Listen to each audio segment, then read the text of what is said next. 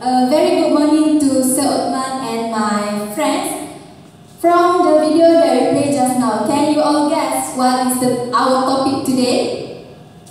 Actually, our topic today is Anabas Testudinius and this presentation will be presented by me, myself, Shazana binti Lokman and my friends Shazwani binti Lokman. This is the reference that we use for our presentation today. And before we continue uh, further, uh, I would like to introduce to you about uh, Anabas testudineus. Actually, its kingdom is Animalia, which means it is an animal. Its phylum is Chordata. It means that it is a vertebrate animal. Its class is Actinopterygii. It means that it is a bony fish. Uh, its order is Perciformes. It is class. Uh, it is classified under perch-like fish. Its family is Anabantidae. It means that it has a spiny uh, fin fish. Uh, its genus is Anabas and its species is Anabas testudineus. Actually, there is two type of Anabas in this world, which is Anabas testudineus and Anabas cobojius. Uh, today, my topic will be uh, Actually, our topic today is the speciality of the Anabas testudineus. It can be seen through its habitat. This is because first, this Anabas testudineus is classified as highland fish and second is it can tolerate extremely under unfavorable water conditions. This anabas is classified as highland fish because it can live in different uh, places such as uh, lake, canal, swamp, pond and also estuaries. Do you guys know what is estuaries? It means that uh, the border between the salt water and also the fresh water. This anabas is very special from its habitat from the aspect of its habitat because uh, it can live uh, in different uh, salinity. It means that it will it can uh, adapt uh, itself to live in the places that they don't use before.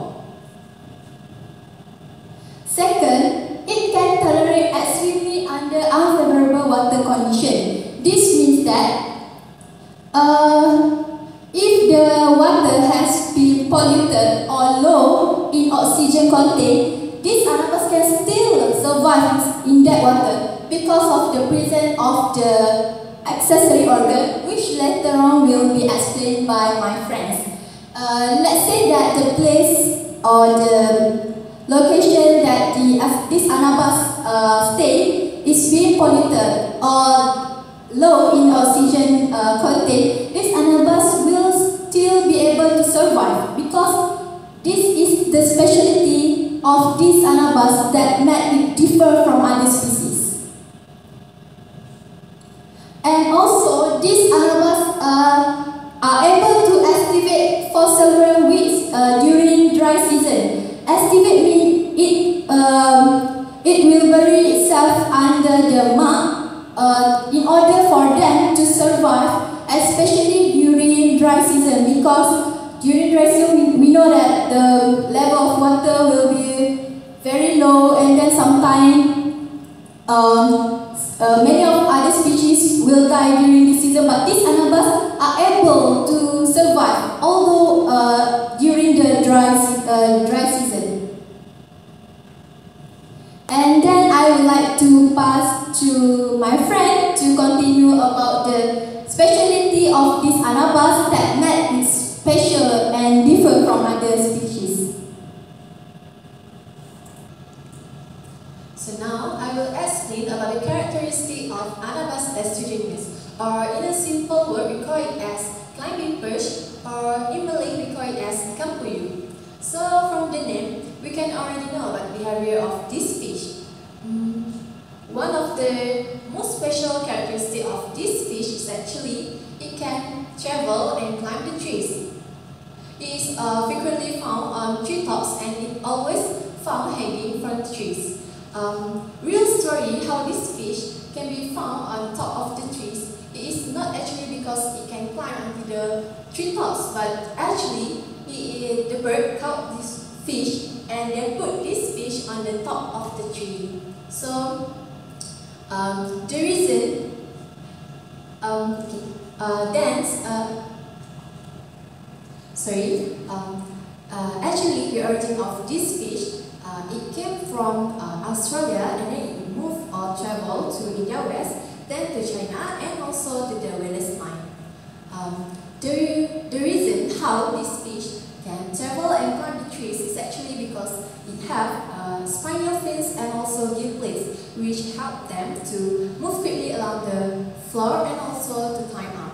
So my advice to all of you, if you keep one of these fish fish at your home and this fish does escape, please don't limit your search at the vicinity of the tank because remember that this fish can walk. So please don't be surprised if you found this fish a long distance away from your tank.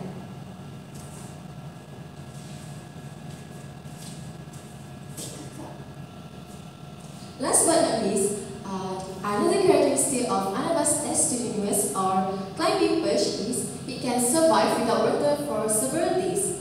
Uh, the reason how it can survive is actually because it has an accessory air breathing organ which is gills. As long as its gills keep moist, uh, actually this fish is not only can survive for several days but also until a week and not impossible until a month. Then uh, the other reason, another reason is actually it has lungs, which is similar to human. So this allow this fish uh, to breathe air on the land. So in the conclusion, it can be concluded that first, uh, this species can live in different places. Second, it can tolerate extremely un, uh, under unfavorable water conditions. Then this fish also can travel and climb in the trees. And last but not least, it can survive without water for several days. So, you guys got any questions? Not, so that's all from us. Thank you.